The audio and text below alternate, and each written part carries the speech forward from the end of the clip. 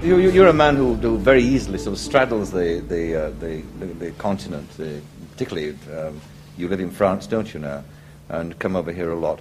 We, of course, are entering into this momentous phase, as they say, the politicians say in our history, the common market and this sort of thing. The problem is, of course, that we don't like the French, do we, very much, and they don't like us. Well, yeah, but you've been such old enemies for so long, I can afford to put on my Russian mantle for a moment.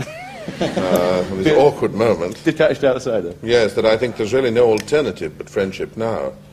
Um, I'm very pro European because I'm really, uh, owing to the innumerable indiscretions of my ancestors, uh, there's no other way for me. Because when I see national minorities getting het up, there are still majorities for me because with an Ethiopian grandmother and uh, French and Italians and Russians and Germans and all sorts of people all over the place, how can I avoid it? And I think that Europe is an inevitable thing because I think we have to decide now whether we're going to be one player or eight tennis balls.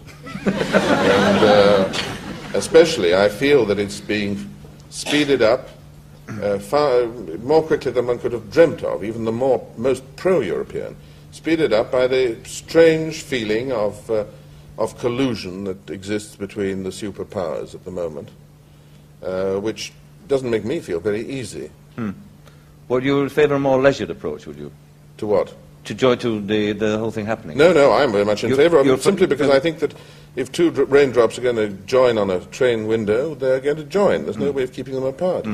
And Britain uh, always regarded the United States as a kind of uh, a young nephew who's doing awfully well. Uh, but in point of fact, it's, uh, it's not that at all. We've been misled by the fact that we happen to use the same language. But American society has been formed by many disparate elements. It's been, it's been influenced by Swedish and German architecture in their villages, uh, and by all sorts of different foods which are not ours necessarily.